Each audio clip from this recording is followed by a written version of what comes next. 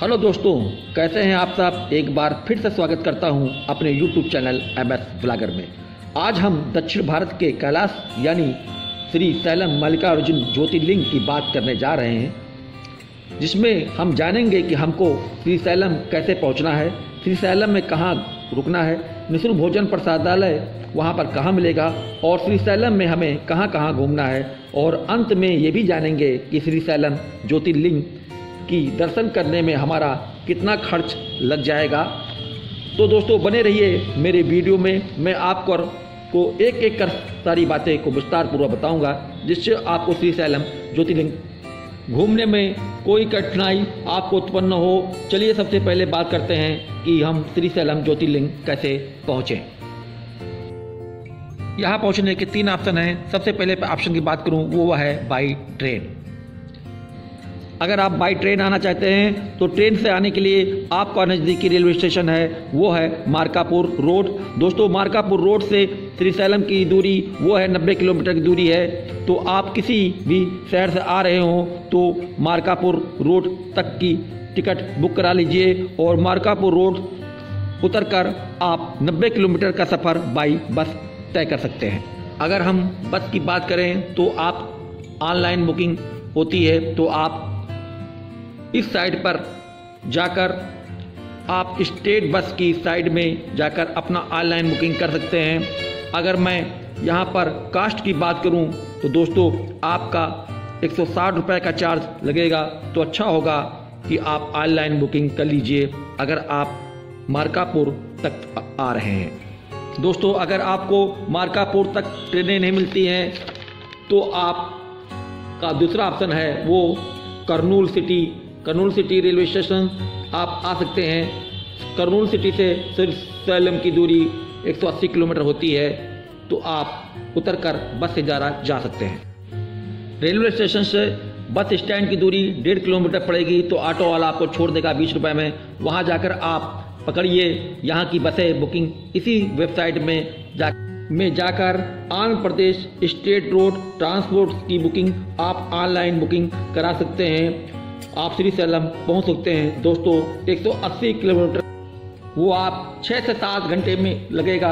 वही बात करूँ, अगर यदि आप मरकापुर से भी सर श्री सैलम जाते हैं तो आपको लगभग तीन घंटा लग जाएगा मंदिर परिषद तक पहुँचने में। तो दो ये था दोस्तों ऑप्शन बाई ट्रेन जाने का। दूसरे ऑप्शन की बात करता हूँ तो वो है आपका हैदराबाद। दोस्तों, हैदराबाद वही यात्री आते हैं, जो कि नॉर्थ साइड से आते हैं। अगर आप साउथ साइड से आ रहे हैं तो आपको करनूल या मरकापुर बेस्ट है। मगर आप बस का सफ़र करना चाहते हैं या फिर हैदराबाद आना चाहते हैं तो आपके लिए बेस्ट है हैदराबाद या सिकंदराबाद। दोस्तों, यहाँ से आपको डायरेक्ट श्री श्रम के लिए बसें मिल जाएँगी।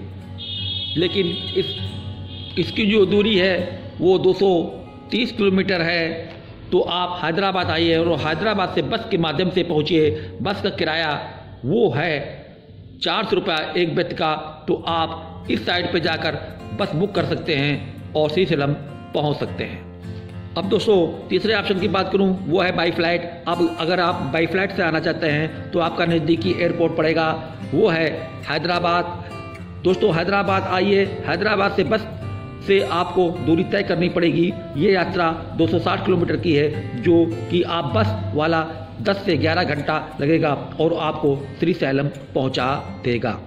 तो तो दोस्तों, ये था कि हम श्री सैलम कैसे पहुँच सकते हैं। अब दोस्तों, हम बात करते हैं कि श्री सैलम मंदिर के पास पहुँच चुके हैं। सबसे बड़ा प्रश्न है कि श्री सैलम में हम रुके कहाँ? दोस्तों, यहाँ पर रुकने का दो ऑप्शन है। पहले ऑप्शन की बात करूँ तो वो है त्रिशैलम देवस्थानम की तरफ़ से ट्रस्ट का रूम दिया जाता है। मंदिर परिसर के आसपास त्रिशैलम देवस्थानम ट्रस्ट के रूम देखने को आपको मिल जाएँगे। वहाँ पर आप जाकर रुक सकते हैं। एसी व नॉन ए दोनों ही कमरे आपको मिल जाएँगे। जैसा आप लेना चाहते हैं, वैसा रुक सकते हैं। इस ट्रस्ट की बुकिंग आप इस साइट पर जाकर ट्रस्ट के रूम बुक कर सकते हैं। अगर दोस्तों, कास्ट की बात करूँ तो नॉन ए सी तीन सौ रुपये पर डे हिसाब से पड़ता है। वहीं ए सी रूम की बात करूँ तो एक हज़ार रुपये पर डे के साथ पड़ता है। इसका चेकआउट टाइम है सुबह आठ बजे से दूसरे दिन आठ बजे तक। दूसरा ऑप्शन है, वहाँ पर बनी हुई हैं आंध्र प्रदेश टूरिज़्म की काफ़ी होटल। तो आप उन होटलों में जाकर अपना स्टे बना सकते हैं। अगर हम यहाँ पर कास्ट की बात करूँ तो वो कास्ट सात सौ रुपये से एक हज़ार रुपये तक आपको यहाँ कमरे देखने को मिल जाएँगे। आप यहाँ रुक सकते हैं। चलिए दोस्तों, अब बात करते हैं कि हम में दर्शन करना है। दोस्तों, दर्शन करने से पहले और भी चीज़ें हमको जानना है। उसके बाद हम दर्शन के लिए बढ़ते हैं। दर्शन करने से पहले, सबसे पहले एक चीज़ है, वो आपको लेना है, पड़ेगा एक्सेस कार्ड एक्सेस कार्ड यानी एक प्रकार की यात्रा पर्ची, वो आप यात्रा पर्ची निकलवा लीजिए। यात्रा पर्ची मंदिर के गेट के सामने से ही मिलेगा, वहाँ अपने एक्सेस कार्ड निकलवा लीजिए। यहाँ एक्सेस कार्ड दो प्रकार के होते हैं। एक तो ये, अगर आप फ्री दर्शन करना चाहते हैं, पास लेते हैं तो आराम से लाइन में लगकर दो चार घंटे में आप भोलेनाथ के दर्शन कर लीजिएगा। दूसरा यहाँ आपको एक मिलता है शीघ्र पास दर्शन, यानी वीआईपी पास। आप, उसका कास्ट जो होता है, एक सौ पचास रुपये होता है। अगर आप वीआईपी पास लेते हैं तो अपना, आपका एक घंटे से आधे घंटे में दर्शन मिल जाएँगे भोलेनाथ के। ये आपको ऑनलाइन भी निकल जाएगा। तो आप इस वेबसाइट पे जाकर ऑनलाइन पास निकलवा सकते हैं। चलिए दोस्तों, आगे बात करते हैं। मंदिर परिसर में आपको मोबाइल कैमरा, बैग सब ले जाना अलाउ नहीं है। तो दोस्तों, आप जहाँ भी दर्शन पास मिलता है, उसी के बगल में आपको वहाँ पर बना हुआ है mobile locker, free locker services है। वहाँ अपना मोबाइल कैमरा रख दीजिए और शू काउंटर पर अपना शू दीजिए और मंदिर के अंदर प्रवेश करते हैं लाइन में लगते हैं। भोलेनाथ का जाप करते हुए ओम नमः शिवाय कहते हुए आगे बढ़ते हैं। दोस्तों, लाइन में चलते चलते आपको नंदी जी के दर्शन करने हैं। नंदी जी के दर्शन कीजिए और आगे बढ़ते हुए हम ग्रह, गर्भगृह में पहुँचते हैं। यहाँ पर त्रिशैलम, मल्लिकार्जुन का हम दर्शन करते हैं। अपनी मनोकामनाएँ मांगते हैं। अपने विशेष शिष्य मांगते हैं और आगे ओम नमः शिवाय कहते हुए मंदिर परिसर के बाहर आ जाते हैं। दोस्तों, अब बात करते हैं कि हमको लाइन में कितना समय लग जाएगा। पहले हम बात करते हैं कि श्री सैलम हमको कब जाना चाहिए, उचित समय कौन सा रहेगा? तो श्री सैलम जाने का सबसे उचित समय है वो विंटर का समय, यानी सितंबर से फरवरी तक आप, आपको यहाँ ज़्यादा भीड़ देखने नहीं मिलेगी, लेकिन आप किसी पर्व में, यानी महाशिवरात्रि या श्रावण के महीने में आते हैं तो आपको काफ़ी भीड़ देखने को मिलेगी। तो दोस्तों, अगर पर्व में आते हैं, यानी शिव महाशिवरात्रि या सावन के महीने में आते हैं तो दर्शन में लाइन में लगना होगा और आपको चार से पाँच घंटा लग जाएगा। यदि आप आप सीज़न में आते हैं, यानी आप सितंबर से अक्टूबर के आसपास आते हैं तो आपको डेढ़ से दो घंटे में दर्शन हो जाएँगे भोलेनाथ के। चलिए इसी के साथ हम बात कर लेते हैं कि हमको श्री सैलम में कितने दिनों का स्टे बनाना चाहिए। तो दोस्तों श्री सैलम में दो दिन का स्टे सफिशेंट है। यहाँ पर मल्लिकार्जुन ज्योतिर्लिंग के अलावा बहुत सारे छोटे छोटे दर्शनीय स्थल हैं। वहाँ भी हमको जाना है। उसके लिए आपको एक दिन और ऐड करना होगा। तो दोस्तों, दो दिन सफिशेंट है श्री सैलम के आसपास घूमने के लिए और मल्लिका अर्जुन ज्योतिर्लिंग दर्शन के लिए। चलिए दोस्तों, अगली बात करते हैं कि हमको खाने पीने की क्या व्यवस्था है। तो श्री सैलम में यहाँ पर भोजन करने के ढेर सारे माध्यम है। श्री सैलम एक पर्वत पर है, लेकिन फिर भी आपको दो ऑप्शन है।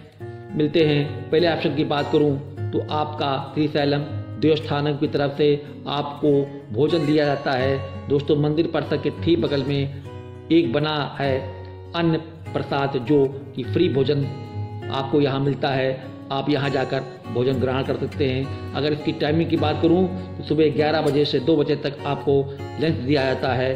और अगर शाम की बात करूँ तो शाम को 6 बजे से रात को 9 बजे तक आपको डिनर दिया जाता है। अगर मंदिर ट्रस्ट की तरफ़ से भोजन करना चाहते हैं तो आप यहाँ पर फ्री अन्न प्रसाद ग्रहण कर सकते हैं। चलिए दोस्तों, दूसरे ऑप्शन की बात करता हूँ तो वह प्राइवेट होटल वहाँ पर, वहाँ के भोजनालय, दोस्तों, मंदिर परिसर के कैंपस के आसपास, एक किलोमीटर के दायरे में आपको भोजनालय व रेस्टोरेंट देखने को मिल जाएँगे तो वहाँ आप जाकर भोजन कर सकते हैं, जो कि नॉर्मल कास्ट की बात करें तो एक थाली की कास्ट अस्सी रुपये से सौ रुपये तो मिल जाएगी। चलिए दोस्तों, अगर आप बात करते हैं भोलेनाथ के दर्शन किया है तो प्रसाद भी ले जाना है। तो यहाँ पर आपको लड्डू के प्रसाद मिल जाएँगे। चलिए दोस्तों, अब बात करते हैं कि श्री सैलम मल्लिकार्जुन में दर्शन करने के बाद हमको और कौन कौन से स्थान पर घूमना है? सबसे पहला स्थान है आपका पाताल गंगा। पताल गंगा में आपका घाट बना हुआ है। कृष्णा नदी के पास हमको वहाँ जाना है, हमको वहाँ डुबकी लगाना है, स्नान करना है। पताल गंगा कैसे पहुँचें? उसकी बात करते हैं। तो दोस्तों, मंदिर परिसर से एक किलोमीटर की दूरी पर आपका बना हुआ है पताल गंगा। वहाँ आपको सीढ़ी मिलेगी, जो कि आपको घाट तक लेकर जाएगी। घाट पर जाने के लिए आपके पास दो ऑप्शन है। पहला ऑप्शन आप सीढ़ी से जा सकते हैं, दूसरा ऑप्शन आप रोपवे के द्वारा जा सकते हैं। आप कृष्णा नदी में स्नान करिए और वहाँ पर आपको बोट मिलेगी। बोट वाला आपसे पचास रुपये चार्ज करेगा और डैम के पास आपको नज़ारा दिखाकर वापस घाट पर छोड़ देगा। अगले स्थान की बात करते हैं। वो है आपका साक्षी गणपत मंदिर। तो मंदिर परिसर से एक किलोमीटर दूरी पर है आपका साक्षी गणपत मंदिर। यहाँ पर गणपत जी के दर्शन कीजिए। अगर दर्शन नहीं करते हैं तो आप श्री सैलम, मल्लिका अर्जुन, ज्योतिर्लिंग के दर्शन, आपकी अधूरी यात्रा मानी जाएगी, ऐसा कहा जाता है। लोगों का कहना है। तो आप यहाँ ज़रूर दर्शन कीजिए। श्री गणेश भगवान जी की मूर्ति विराजमान है तो आप इनके भी दर्शन कीजिए और बढ़ते हैं अगले स्थान की ओर। वो है आपका चिच्चू लक्ष्मी म्यूज़ियम। दोस्तों, चिच्चू एक प्रकार का म्यूज़ियम है, संग्रहालय है, जहाँ पर आपको प्रादेशिक जनजातियों के जीवन की एक झलक देखने को मिलेगी। इस संग्रहालय में जाकर अपना कुछ समय व्यतीत कीजिए। इसकी दूरी है मंदिर परिसर से एक किलोमीटर। चलिए अगले स्थान की ओर बढ़ते हैं। वो है आपका पालधारा, पंचधारा।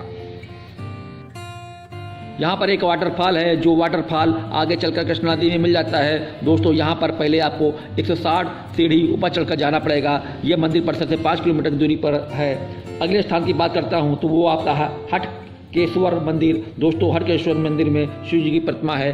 आप वहाँ भी जाकर दर्शन कर सकते हैं। अब चलते हैं अगले मंदिर की ओर। जो मंदिर परिसर के बगली में बना हुआ है, वो आपका ब्रह्म रामा मंदिर। दोस्तों, इस मंदिर में माता शक्ति का गर्दन गिरा था। ये इक्यावन शक्तिपीठों में से एक शक्तिपीठ है। ये हमारे मल्लिका अर्जुन मंदिर के ठीक पीछे है ब्रह्म रामा मंदिर। मिलेगा तो आप यहाँ भी दर्शन कीजिए, मत्थे टीकिए और आगे बढ़िए। दोस्तों, अब बात कर लेते हैं कि ये सारी जगह घूमने के लिए। हमारे पास साधन क्या है? दोस्तों, वहाँ पर मंदिर परिसर के पास बहुत सारे, ढेर सारे ऑटो वाले देखने को मिल जाएँगे। ऑटो वाला आपसे डेढ़ सौ रुपये से दो सौ रुपये चार्ज कर लेगा एक व्यक्ति का। ये सारे जगह घूम कर, घुमा कर आपको एक दो घंटे में मंदिर परिसर के बाहर छोड़ देगा। चलिए दोस्तों, आखिर में अब बात कर लेते हैं कि श्री सैलम में घूमने में एक व्यक्ति का खर्चा कितना लग जाएगा? दोस्तों, अगर आप दो दिन का स्टे बनाते हैं, अगर आप ट्रस्ट में रुकते हैं और अन्न प्रसाद के में भोजन ग्रहण करते हैं तो आपका एक बद का खर्चा, दोस्तों, पंद्रह सौ रुपये से दो हज़ार रुपये के लगभग लग जाएगा, जो कि पूरे श्री सैलम घूमने के लिए पर्याप्त है। इसमें मैंने बस के टिकट को जोड़ा है। चाहे आप मार्कापुर से आए हों, या कुरनू सिटी से आए हों, या हैदराबाद से आए हों, यहाँ पर मैंने ट्रेन का टिकट या फ़्लाइट का टिकट अलग से जोड़ लीजिएगा। तो दोस्तों, ये था श्री सैलम का पूरा वर्णन। अगर आपके मन में कोई प्रश्न हो तो मेरे इंस्टाग्राम में जाकर आप प्रश्न पूछ सकते हैं। चलते मेरे YouTube चैनल एम एस को सब्सक्राइब कर लीजिएगा। ये वीडियो फ़िलहाल इतना ही। मिलते हैं एक नए वीडियो में, एक नई यात्रा के साथ। हर हर महादेव, आपकी यात्रा मंगलमय हो।